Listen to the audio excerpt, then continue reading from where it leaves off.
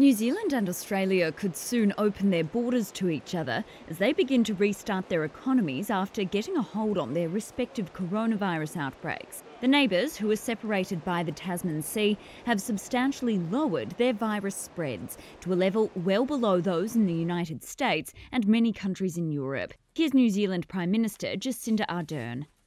One key aspect of our plan to get New Zealand moving is the work on the Trans Tasman bubble.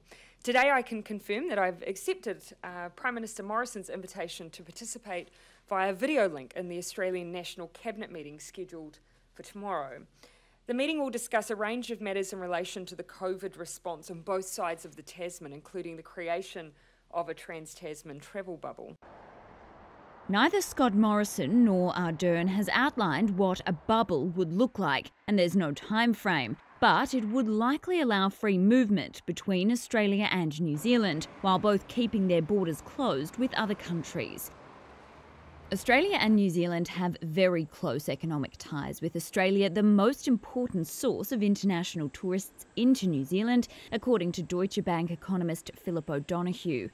With airlines resuming services, he says a trans Tasman bubble would likely go a long way to alleviate the negative virus impact on New Zealand's tourism trade.